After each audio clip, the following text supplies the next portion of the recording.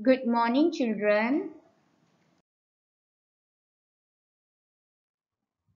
Take out your tear and paste book. Turn to page 10 and 11. Write down your name and the date 23rd November 2021.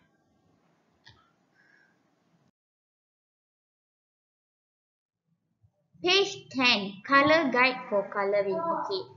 Here, teacher want you to tear off the pictures and then page 11. Turn to page 11 and paste on the page 11. Make sure you write the name and the date. After that, color the picture nicely. My cat loves fish.